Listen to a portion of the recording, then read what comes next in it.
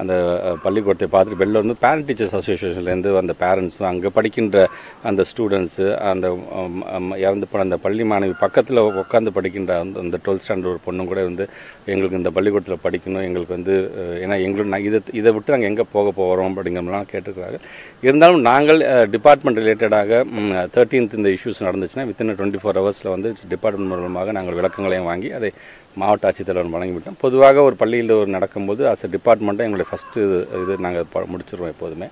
அது காவல்துறை மாவட்ட ஆட்சித்தலைவர் மூலமாக போகும்போது அது அடுத்த கட்டத்திற்கு செல்லும் அது அது அந்த வகையில் தான் இப்போ நீங்கள் சொன்ன மாதிரி இந்த குழந்தைங்களுக்கான அந்த பெற்றோர் ஆசிரியர் சங்கத்தை சார்ந்திருக்கின்றோம் அவங்களாம் சொல்லும்போது இமீடியட்டாக எங்களுக்கு ஏதாச்சும் நீங்கள் பண்ணி கொடுங்கன்னு சொல்லும்போது அதையும் அங்கே இருக்கின்ற சிஓஸ் மூலமாக பக்கத்தில் வந்து கிட்டத்தட்ட ஒரு ஐந்து அரசு மேல்நிலை பள்ளிகள் இருக்கின்றது ஒரு பதினேழு தனியார் பள்ளிகள் இருக்கின்றது இரண்டு கல்லூரிகள் இருக்கின்றது நாற்பது கிளாஸ் ரூம்ஸோட ஸோ நமக்கு இருக்கிற ரிசோர்ஸை பயன்படுத்தி அவங்களை எப்படி அதை பயன்படுத்தலாமா? இல்லை இதை எப்படி சரி செய்து இதிலேயே படிக்க வைக்கலாமா? என்பதையெல்லாம் நம்ம முதலமைச்சர் எப்படி எங்களை அறிவுறுத்த சொல்கிறோம் அது மட்டும் impatient.